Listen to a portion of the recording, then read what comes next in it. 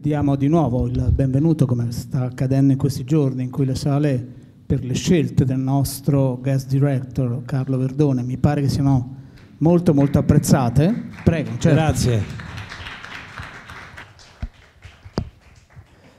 Uh, Carlo, uh, tu hai scelto uh, cinque grandi emozioni della tua vita di, di spettatore e come hai detto poi in una delle presentazioni hai ragionato giustamente da spettatore non da critico, da Assolutamente, storico. Assolutamente, l'ho anche presentato in molto da spettatore e non mi sono soffermato in eh, voli pindarici da critico perché non, non, è il mio mestiere, lo lascio fare ad altri. Emozioni avute da spettatore quando ho conosciuto la maggior parte di questi film al cineclub, quando c'erano i cineclub e là mi sono fatto la mia cultura. Devo ringraziare mio padre che mi regalò una tessera per il film studio valida un anno e da lì, che era mi pare il 70, il 69, il 70, ho cominciato a frequentare per, per, per circa 10 anni, 11 anni, beh, fino, al, fino al 77 ho frequentato sia film studio, poi è stato chiuso, poverino, Cineclub Tevere, l'Azzurro Scipioni, l'Occhio, l'Orecchio alla Bocca, la, poi questi, questi cineclub eh, erano seguiti da, da, dei grandi educatori di cultura cinematografica, erano molto bravi quelli che programmavano eh, le rassegne.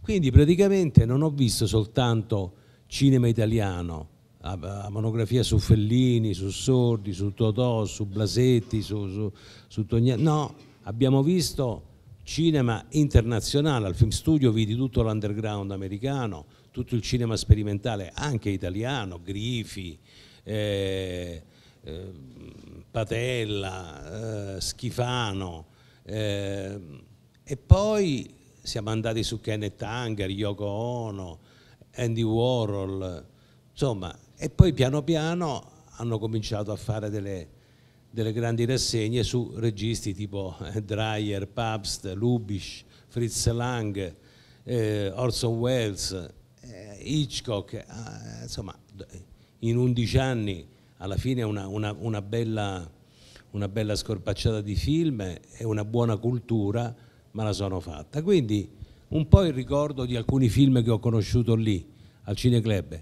Poi altri film, per esempio Buon compleanno Mr. Grape, l'ho detto, insomma, quando io ho avuto l'opportunità di programmare il cinema Roma, eh, Cecchi Gori mi disse occupati di questo cinema che ho appena preso che si chiamava Esperia ed era uh, a Piazza Sonnino. Eh, io a Viale Trastevere insomma, e gli cambiai il, il nome lo chiamai Cinema Roma non più Esperia. Facemmo i lavori e quando si trattò di, di esordire beh, insomma, andai a cercare un qualcosa di importante, mi imbattei in questo What's It, What's It Gilbert Grape che era intraducibile in italiano e mi inventai questo titolo che era Buon compleanno Mr. Grape, quindi un titolo mio. Ed ebbe molto successo, soprattutto per questi due attori giovani, Di Caprio soprattutto mi colpì tantissimo, Depp, ma soprattutto la poesia del film. Ecco, io quel film, e sono quei due attori, ma soprattutto è un Larstrom in grande forma, poetica, un film molto poetico. Io credo di aver scelto dei film con molta poesia, eh, dei film anche abbastanza difficili come ieri Ordet. Eh, Ordet l'ho visto grazie a mio padre che appunto mi bocciò proprio su, su Dreyer e Pabst e allora mi dovetti fare una cultura, però quando vidi eh, alcune opere di, di, di Dreyer capì che stavo di fronte a un, all'espressione più, più, più, sublime del, del, del, del, cinema. E Viale del Tramonto, insomma, è un film che mi colpì tantissimo. Un omaggio a Peter Seller volevo farglielo, ma non con uno dei soliti film che conosciamo, Hollywood Party oppure, oppure Il Dottor Stranamore. No, ho cercato uno dei film più malinconici, insomma, quindi da un anno e mezzo da oltre il giardino poi Peter Seller morì, quindi mi sembrava giusto fargli un omaggio. E poi il mio regista del cuore che è Pietro Germi, ritengo il più grande regista di commedia, e lo presenterò oggi, Divorzio all'italiana, è un film che, che mi è piaciuto per tutto, per la scrittura, per la sceneggiatura, per l'idea, vabbè, l'idea di, di Arpino, tratto dal romanzo d'Arpino, la grande interpretazione di Mastroianni, la grande fotografia, è un film perfetto, film perfetto. Senti una cosa, uh, Ehm, la, la, storia della bocciatura da parte di tuo papà, uh, di Mario, uh, tu l'hai raccontata molto spesso.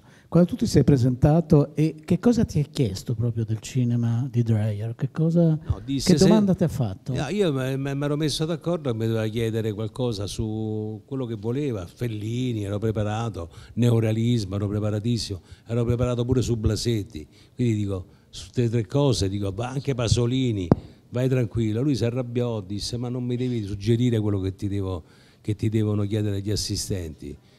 Eh, dico vabbè, dai, insomma, tu lo sai, insomma, dai, diglielo, buonanotte, mancano due esami alla laurea, dai, su, sbrighiamoci.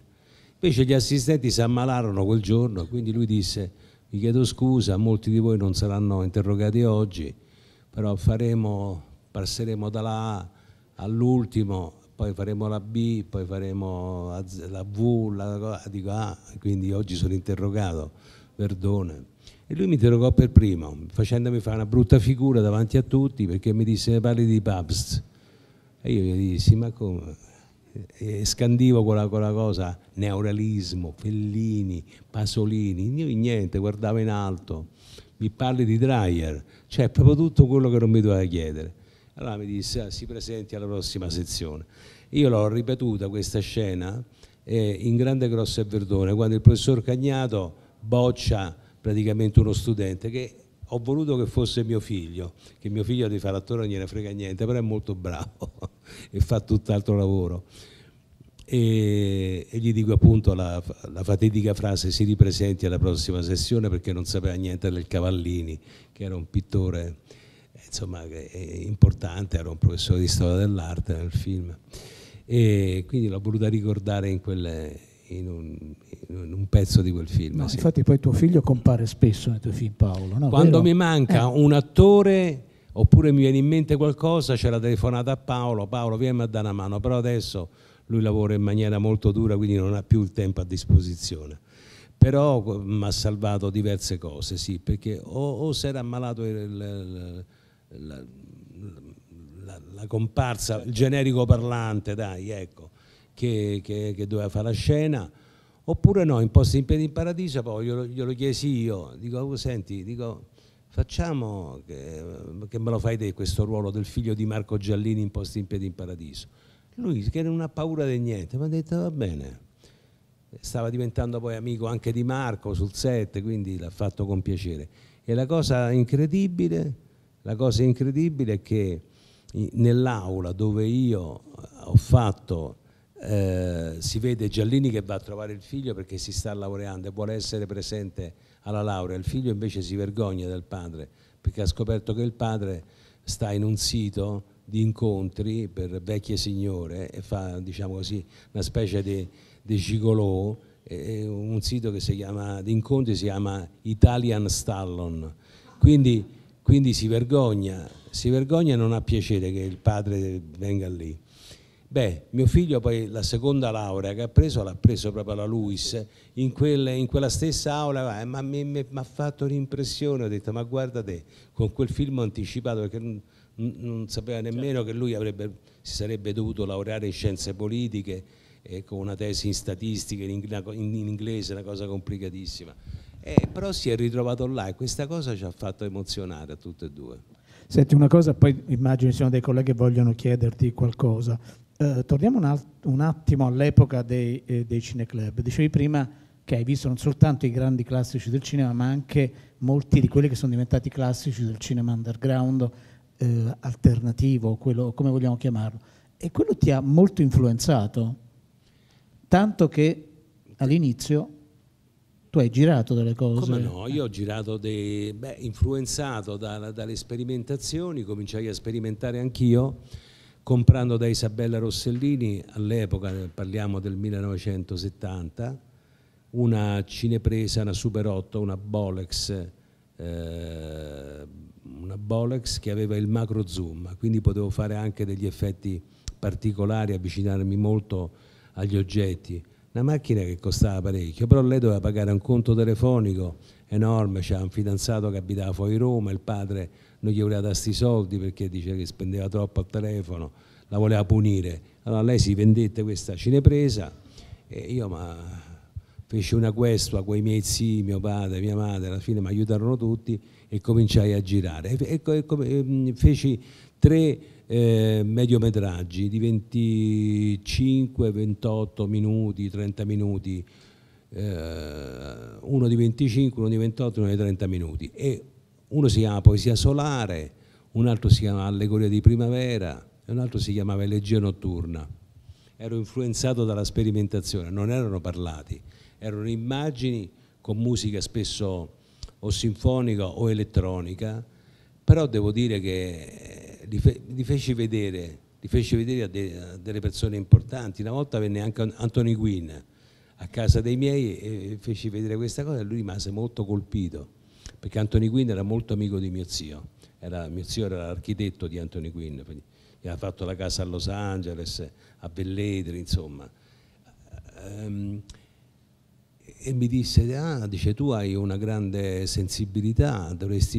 Allora disse, Mario, devi fare qualcosa per tuo figlio. E mio padre poi fece in modo che questi film li vedesse Roberto Rossellini, che vedendoli mi prese poi, mi disse di fare la, la, la, mm, la domanda d'ammissione al centro di sperimentale di regia, in quell'epoca c'era soltanto la regia, non c'erano attori, non erano anni molto difficili, senza soldi, con le contestazioni, con, insomma. Però alla fine eh, entrai e ebbi il mio diploma di regia. I tre film sono andati perduti? Eh? Sono andati persi, l'ha persi proprio la RAI. Eh, eh o qualcuno si è fregato, io comunque sono proprio convinto che quando morirò qualcuno dirà l'ho trovati e sono miei finirà così, è ovvio che finirà così.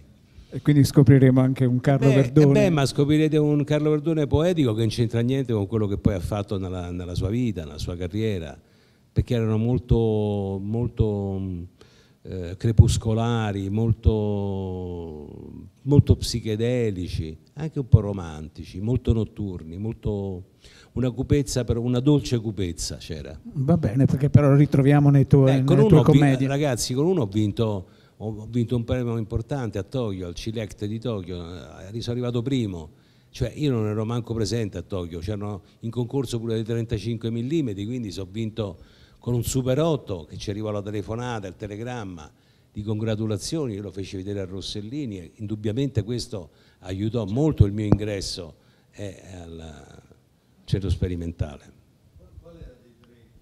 Elegia notturna, elegia notturna, l'ultimo. Allora, ci sono domande da parte vostra? Certo, prego. Allora, io vorrei dire, sì, una cosa, sì. vorrei dire una cosa. Io questa mattina, entrando qui, ho avuto una grande emozione, eh, volevo... perché mi hanno fotografato di fronte a una vecchia, a una vecchia telecamera. Erano le telecamere che usava Enzo Trapani qua, perché io sono nato artisticamente qua, a Torino in via Verdi dove sono rimasto a Torino per la bellezza dei quattro mesi settembre, ottobre, novembre e dicembre perché Trapani all'epoca non aveva copione. Lui creava alla giornata. C'era un foglio di carta con una penna scriveva là qua adesso voglio un balletto qua adesso voglio una cosa adesso qua mi invento una cosa adesso poi quello mi fa quindi non, non essendoci copione Trapani scriveva anche nei weekend e noi mm, gran parte dei weekend dovevamo restare qui e quindi, quindi artisticamente sono nato qui. Quando si resero conto che io ero forte ma io non me ne rendevo conto, io, io avevo molti dubbi su questa mia trasferta torinese, non sapevo se ero un attore capace di, di, di, di sostenere un pubblico, l'avevo presa un po' come un tentativo, non mi facevo tante illusioni. Alla quarta puntata mi disse Trapani, tu lo sai che funzioni, tu funzioni tanto, lo sai? E dico, la ringrazio, dico, no, no, bisogna che tu ti prepari a scrivere una cosa per una puntata in più, la dobbiamo fare per te, perché il programma c'ha, molto, non c'era all'epoca l'Auditel, ma c'erano dei gruppi di ascolto piace molto, scrivi, scrivi, scrivi, dico io non c'ho più niente, scrivi, non rompi i coglioni, scrivi, Eh, io scrissi, scrissi quello che poi sarebbe stata la cartomante certo. con tutti i personaggi, lo scrissi in una notte, il giorno dopo lo registrammo. Fu una cosa folle, io dissi, boh, se ridono a sta cosa qua non lo so nemmeno. Quando, e ci fu una cosa molto bella. Allora, io questa mattina sono entrato qua dentro Viale, dentro Via Verdi con una macchina, con un autista che mi è venuto a prendere in albergo quando noi terminammo tutto uno stop, eravamo vicino al Natale, il dottor Gambarotta, che era il direttore della, della sede Radio di Torino, mi fece chiamare. Io avevo fatto già le valigie, tutto quanto, ero venuto a salutare tutti quanti. E mi disse, si sieda, lei è consapevole di quello che ha fatto? Io dissi no, lei fa mo farà molto ridere lei avrà un grande successo. Che ci fa con questi soldini adesso che ha guadagnato? Non sono tanti, ma che ci farà? Beh, mi ci compro una macchina, la 127. 127. Le posso dare un consiglio? Mi dica, dottore, non compri la macchina. Di qui a qualche mese lei girerà in macchina con un autista. Eh, io dico, dottor Gambarota, lei è gentilissimo lei, mm, lei, sta un po' fantasticando, gli ho detto, dico, ah, sta tirando un po' troppo. No, no, perdone, finirà così, finirà così che quando lei tornerà qua in Rai, se tante volte dovesse tornare in Rai qua a Torino, lei ci arriverà con una macchina blu, con una Mercedes e l'autista, mi dia retta. Eh, io faccio gli scongiuri, magari succedesse, succederà, se lo dice lei, ma io non ero tanto convinto, lo salutai, fu molto carino, fu molto gentile, salutai il caro Trapani, che poi poveretto di, di lì a, a, qualche anno poi si, si tirò un, un, colpo di pistola, da, da qualcosa mi, mi, addolorò veramente tanto, tanto, perché mi ha, scritto mi ha scritto un bigliettino con delle cose belle. Io ero una persona che non si rendeva molto conto, poi quando le puntate andarono avanti me ne accorsi la, che la gente mi riconosceva per strada e mi rifaceva il pezzo che avevo fatto la sera, la pistola, il porto d'armi, i cervi a Ponte Sisto, e cioè Rete 1, mi ripetevano completamente, allora dico, ma qua sono entrato un po' nelle persone e allora sentivo che la mia vita stava cominciando a cambiare. Beh, stamattina che sono entrato con l'autista le cose e mi hanno fatto una fotografia vicino a una telecamera dell'epoca, mi ha veramente toccato il cuore, mi sono un po' dentro di me mi sono molto emozionato, ho detto ma guarda te Gambarotta c'ha ragione. Aveva, aveva assolutamente ragione, ti è meriti. È stata veramente, veramente una bella carezza è stata stamattina. E ti meriti tutto. Cristiana voleva. Senta, restando sempre a questi inizi, è molto bello questo racconto che sta facendo de, di, di come è partita la, la, sua carriera anche con una grande umiltà, diciamo, nonostante Ma le sue... Io sono sempre stato umile, eh, guardi, è sì, stata sì. la mia forza, perché non mi sono mai sentito arrivato. Ancora oggi quando inizio un film, io per due notti prima, io mica dormo, io sto con una pila elettrica perché per me è un ricominciare da capo.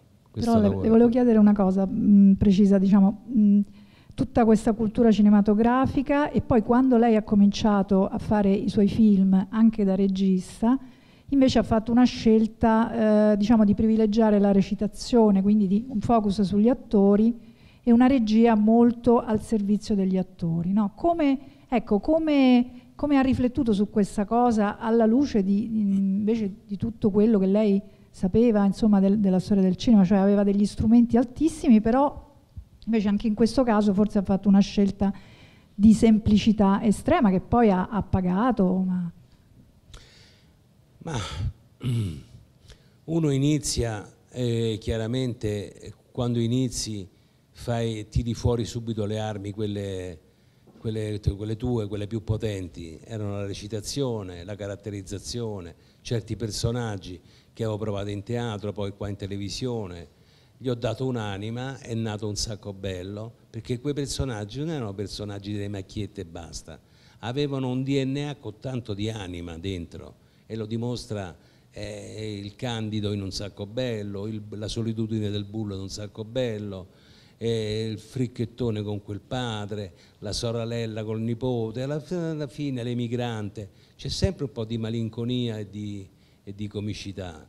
Eh, poi andando avanti, a me piace il cinema, non, non sarebbe stato più cinema quello di, di, me, di, di, spararmi la macchina da presa addosso, anche se ho sempre avuto degli ottimi eh, coprotagonisti accanto a me, però non era un cinema che, che, che mi sarebbe piaciuto fare e continuare. Ecco quindi che inizia con io e mia sorella un periodo molto importante, cioè incomincio a deromanizzare un po' la, la mia, il mio personaggio, ambientarlo fuori Roma, a Spoleto, poi a Brighton in Inghilterra, scelgo Ornella Muti, faccio una scommessa con me stesso, la prendo come una ragazza dalla porta accanto, non più come l'oggetto inafferrabile nel, e favolistico dei film di Celentano.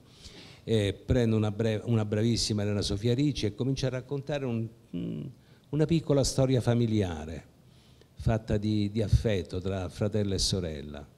Poi arriva compagni di scuola, ecco, con compagni di scuola io dovevo dimostrare che ero un buon regista e, e secondo me non era importante come muovevo la macchina, perché alla fine Compagni di scuola era molto teatrale come film, perché avevamo soltanto una, una grande villa sulla, sulla antica come set, però è come far muovere gli attori, come, come, come far entrare uno, far uscire l'altro, come dice quella battuta quello, come risponde l'altro e soprattutto era un film in cui andava fatto un grande cast all'inizio, di attori non famosissimi, ma bravi attori, chi in teatro, chi in film indipendenti, però fu forse uno dei cast più azzeccati della mia carriera.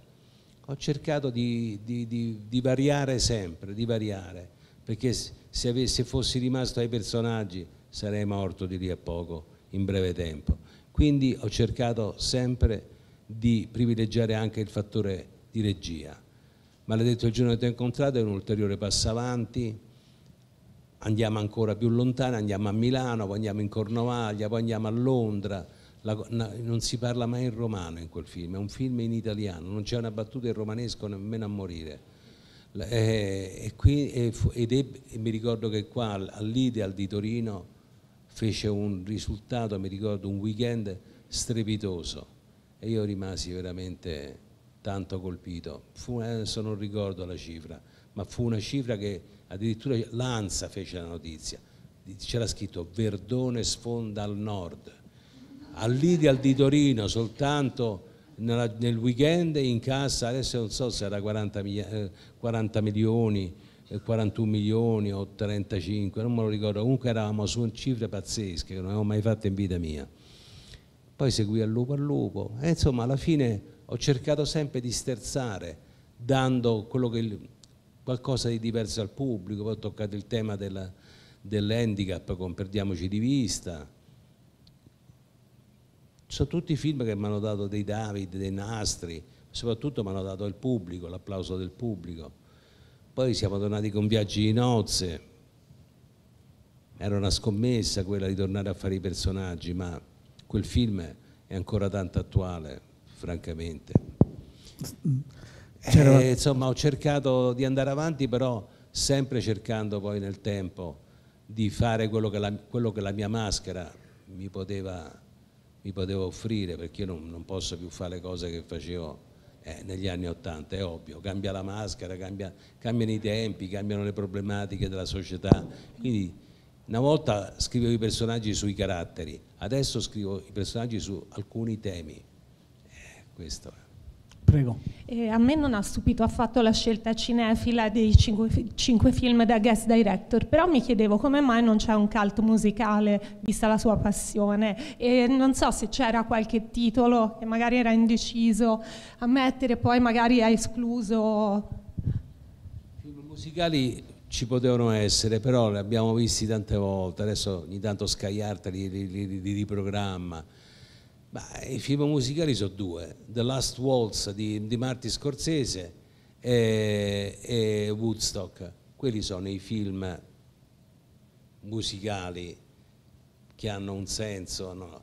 però francamente mi sembrava anche un po', volevo andare un po' sul, su una cultura di, di, di direzione, cioè tirare fuori dei registi bravi, oltre che dei film buoni.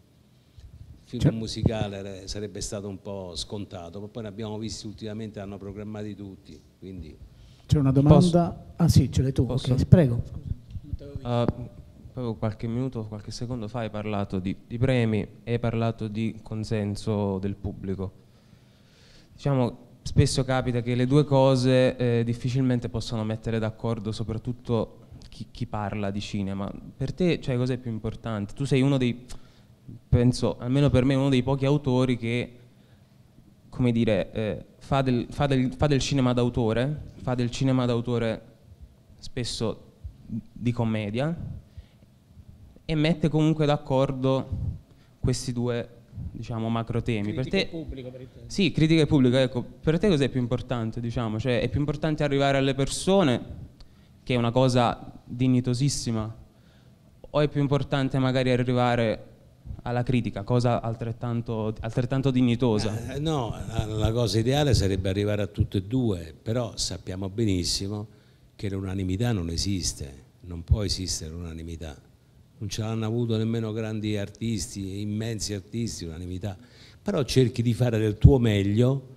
per cercare di, di interessare tutte e due. Chiaramente il pubblico è molto importante perché con un successo di pubblico, se il pubblico fa affluenza in sala, beh, io sono sicuro che il prossimo film lo farò. Se il pubblico manca, allora incomincia ad esserci qualche problemino. Io ringraziando Dio non ho mai fatto rimettere il produttore dei miei film, mai. Il cinese in coma, che è stato il mio film che più ha, eh, più ha lasciato perplesso il pubblico, più che altro non c'è stato l'ingresso immediato, forse per il titolo o forse perché era anche stancato, eh, perché ci sta pure che dopo tanti, dopo, più di, di, di, dopo due decenni il pubblico ti dice basta, con un titolo anche un po' mh, difficile da, da, da, intuire che tipo di film era. Però là, poi quel film là nel tempo invece ha avuto quello che si meritava attraverso un successo di, tele, di pubblico televisivo. Tant'è che questo film poi se lo litigano continuamente, no? Mediaset, Rai, Rai 3, Rai, Rai 1 magari in seconda serata, poi arriva su Iris, poi ritorna sul canale 5, quel film va quindi alla fine, alla fine ci hanno guadagnato anche su quello, che era stato il più fragilino. Però è un buon film. Quando Tony Servillo mi ha detto, io ho un film del cuore, qual è? Io mi aspettavo compagni di scuola, mi disse il cinese in coma. Dico, ma io ti voglio abbracciare. No, no. Quando mio, fi mio figlio, quando fa l'attore, io gli faccio vedere il cinese in coma, faccio vedere tre scene che per me sono fondamentali. Dico, Tony, ti ringrazio, dico, non sapevo che... No, no, no, no è un film, è un film che merita tanto, tanto. Mi faccio risate e mi commuove, c'è tutto, c'è il cinismo, c'è la rabbia, c'è il senso dell'amicizia, c'è, il tradimento, è un film, è un grande film, eh?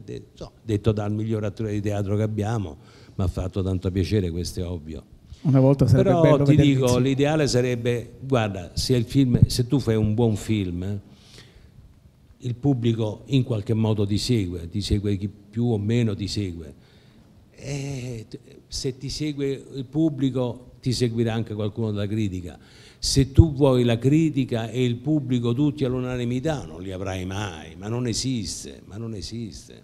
Ci avrai uno che ti darà due stelle stitiche e un altro che te ne darà tre, però è così, è così. L'importante la cosa importante, e questo l'ho visto anche un po' con me, che molti miei film, che quando uscirono passarono come dire, ah, fatto un buon film, poi però col tempo, col tempo, il tempo li ha esaltati questi film, tant'è che io mi sono meravigliato. Io anche delle persone intellettuali, io non gli posso toccare acqua e sapone, si arrabbiano. Io dico, vabbè, però è, è inferiore a Brodaco. No, non lo dire, sono uguali, mi dicono. Sono uguali e sono la fotografia degli anni Ottanta. No, no, non l'hai capito tu, che l'hai fatto, non l'hai capito. Ma dico, ma voi che non l'abbia capito, l'ho fatto. Ma ci sono, ecco, per esempio, sono dei film che io non glieli posso toccare. Però per me sono film, non dico minori, sono stati i film più importanti, però c'è tutta una schiera di film anni 80 intoccabili per alcuni spettatori, anche, anche intellettuali, quindi per me è un, è un piacere e anche una sorpresa. Io sto ricevendo tanta gratitudine da parte, da parte di tanto, tanti spettatori che rivedono a distanza i film e li rivalutano. Io, io 15 anni fa mica avevo l'attenzione che ho oggi, ve lo dico sinceramente, il che vuol dire che c'è un pubblico trasversale, l'ho preso perché ormai sono 42 anni che faccio questo lavoro, non è, è che si vede che rivedendoli hanno, sono rimasti colpiti e si sono rimessi a guardare un po' la, la, la cinematografia mia e evidentemente hanno scoperto che c'è un'anima vera, sincera, perché se no hanno scoperto una sincerità secondo me, tanta, tanta osservazione genuina, tanti dettagli che gli erano sfuggiti magari alla prima, alla prima proiezione, il fatto che ripetono spesso le battute, sono entrate un po' nell'immaginario del, Abbiamo tempo per un'ultima, per un'ultima domanda. Sì, una curiosità. Eh, sono qua. Eh, per quanto riguarda invece il linguaggio seriale, volevo sapere che cosa la affascina, se lo osserva e se c'è un desiderio, dopo tanti anni di cinema, di grande, di grande sperimentazione, di grande lavoro sui personaggi e sulle storie, di arrivare anche a pensare su se stesso un progetto che possa essere continuativo. Grazie. Guardi, eh, molti miei colleghi criticano le serie, secondo me fanno male, fanno male perché, perché, eh, perché è, un di, è, un cambiamento nella fruizione del prodotto.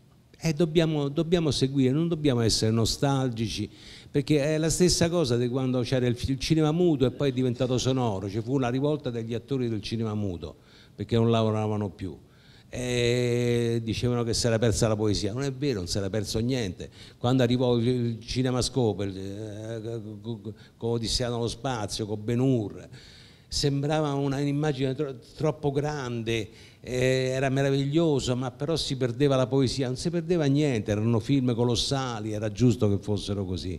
Dobbiamo seguirle, dobbiamo seguire l'evoluzione. Però, allora, alcune serie sono fatte, sono come una catena di montaggio, perfette. Non sono scritte da uno sceneggiatore, ma sono scritte da 15 sceneggiatori. I registi di una serie saranno 7-8, quindi possiamo dire che è un cinema d'autore?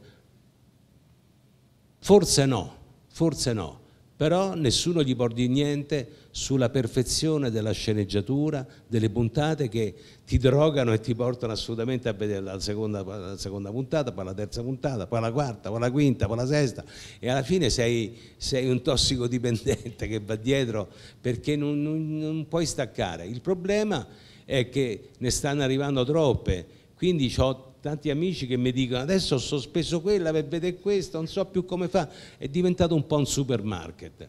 Quindi è una bolla che, che eh, non dico che rischia di scoppiare, però certamente eh, il pubblico ne comincia ad avere un po' troppo, troppi prodotti da, da, da, da scegliere. Però alcune serie sono fatte talmente bene che anzi possono essere anche d'aiuto nella scrittura, in certe soluzioni per il cinema. Però io rimango dell'idea che se uno cerca il cinema d'autore deve cercare il film unico, perché là è una catena di montaggio perfetta, in, non gli puoi dire niente dal punto di vista fotografico, dal punto di vista dei dialoghi, ma là c'è un sociologo che prima di dare l'ok a una serie stabilisce i punti che tu devi toccare, come li devi toccare, c'è uno psicologo, c'è, un esperto di comunicazione di massa, là un, ci sono 100 persone di dire ok è una serie. Comunque io farò una serie televisiva tra due anni, la devo fare, al momento opportuno vi diremo con chi, però chiaramente sarà una, una casa abbastanza, forse la più grossa che c'è, però eh, adesso aspetto il ritorno di De Laurentiis da Los Angeles che credo da, ho, ho l'impressione, ho la sensazione che qualcosa abbia, abbia, combinato però non lo posso dare per certo aspetto che torni lui, io non lo chiamo mi deve chiamasse lui quando dove, però penso che quello che hanno letto gli sia piaciuto molto perché se lo stavano litigando tre addirittura major quindi vediamo a chi andrà. Il nuovo film di Carlo esce a febbraio. Eh, io di quello non ne posso parlare perché c'è, c'è tutto il, il film di Natale, c'è ancora tanto tempo. Eh, abbiamo deciso di uscire il 27 febbraio proprio perché abbiamo la sensazione che il film sia buono, sia veramente molto buono e allora non vogliamo avere tanti, tante battaglie da fare insieme con altri film. Quindi la data del 27 febbraio, anche se è un pochino un po' in là, però è ancora una buona data, ma soprattutto mi consente di, di avere un tot numero di sale, perché forse questo film dovrebbe meritarlo, lo dico col condizionale perché poi sarete voi a giudicare, eh, però sono particolarmente fiero, molto contento di come, di come è venuto questo film. Ecco. Grazie. Ah. Sì, il sì, film sì. è terminato, vado ai mixage, vado al mix, ai premix il 4 dicembre. Allora, grazie. Prego, Gallo, volevi fare una domanda? Sì, no. eh, prego. No, eh, la curiosità era cioè, perché, eh... Allora, perché ho scelto Ordet? No, io, io, a me piace,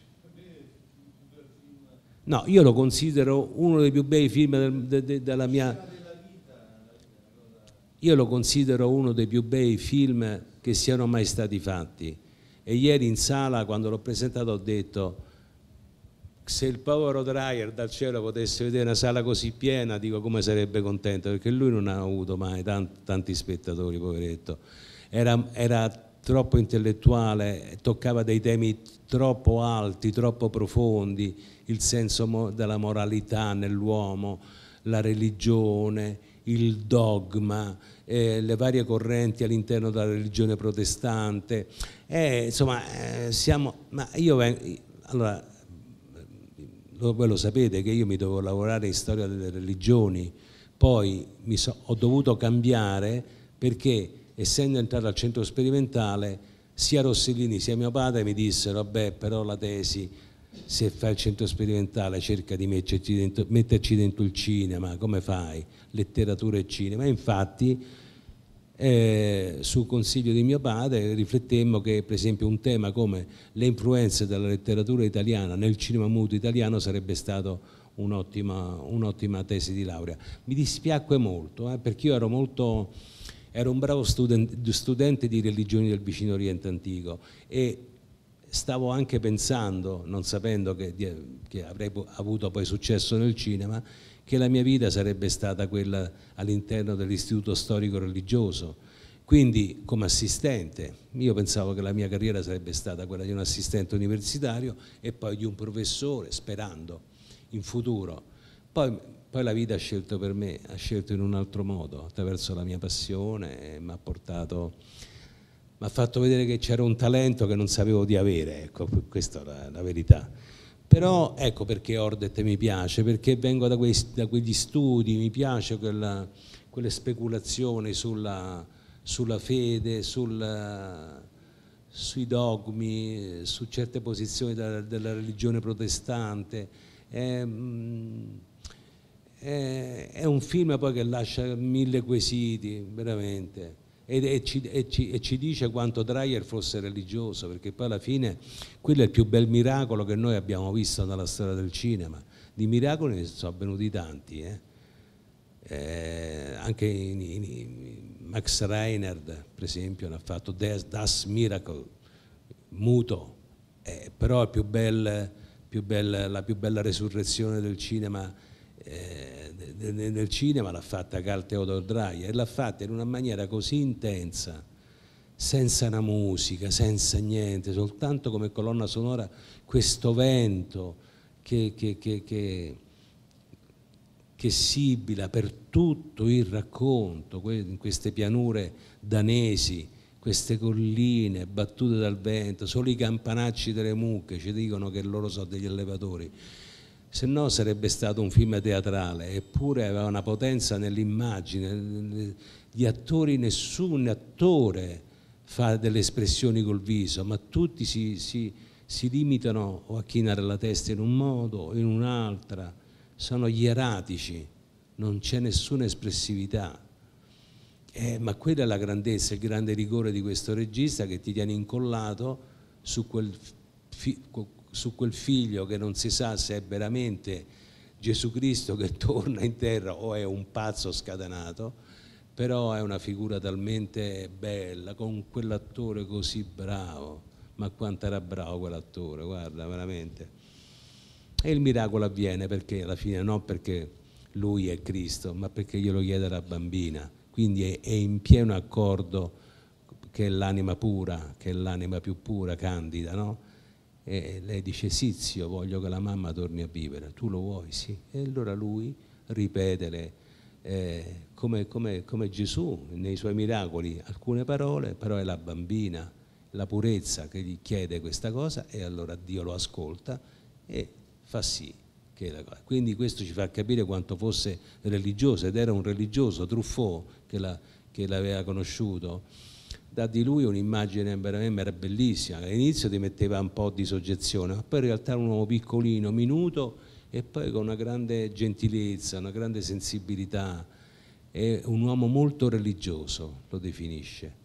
E Godard disse che ogni film di Dreyer era una botta di follia e di potenza come le sinfonie di Ludwig van Beethoven eh, ma non l'ha detto solo lui, l'ha detto Orson Welles, l'ha detto Bogdanovich, l'hanno detto tutti.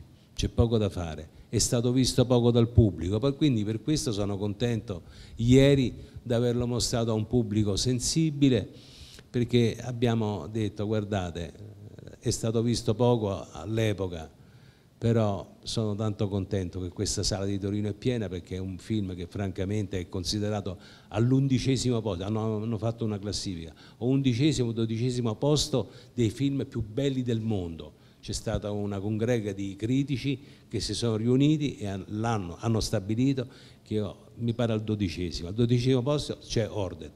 Per me potrebbe stare anche dai primi tre, però insomma quanti film sono stati fatti, miliardi di film, quindi stare al dodicesimo posto è, un, è grandioso. È una bella posizione. Eh. Grazie infinite a Carlo Verdone, grazie, grazie a tutti voi.